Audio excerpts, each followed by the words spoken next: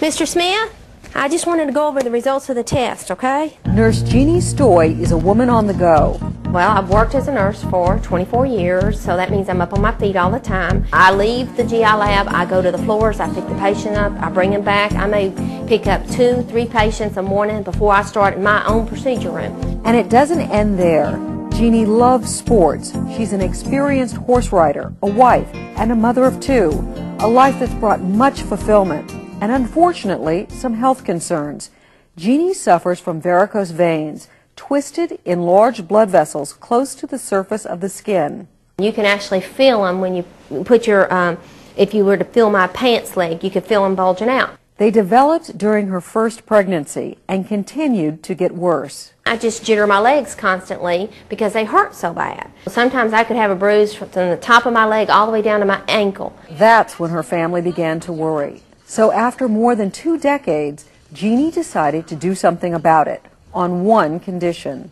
I wasn't going to have it done if I had to have it done the old way. The old way was a complicated method of removing the vein. The traditional treatment for varicose veins has been stripping of the greater saphenous vein, and that's a large vein that runs from the groin to the knee. It was uh, an invasive procedure, and the recovery time was often lengthy, um, two to three weeks normally before uh, patients felt like they could go back to normal activities. That two to three week recovery time didn't sit well with Jeannie either.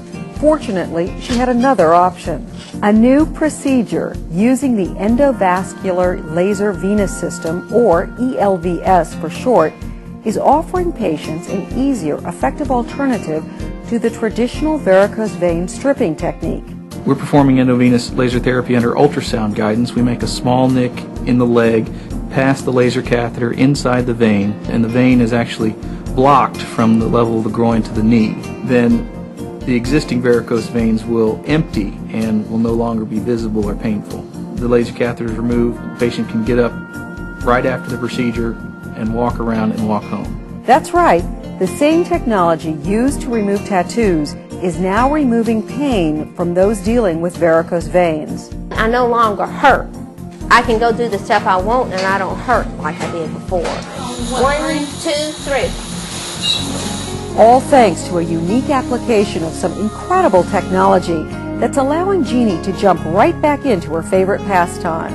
I think I can go for 24 hours on horseback. No, I can do a lot longer anyway. It should be good. Dr. Zini says in addition to the near instant pain relief, most patients can resume normal activities in a day or two, and in some cases, immediately.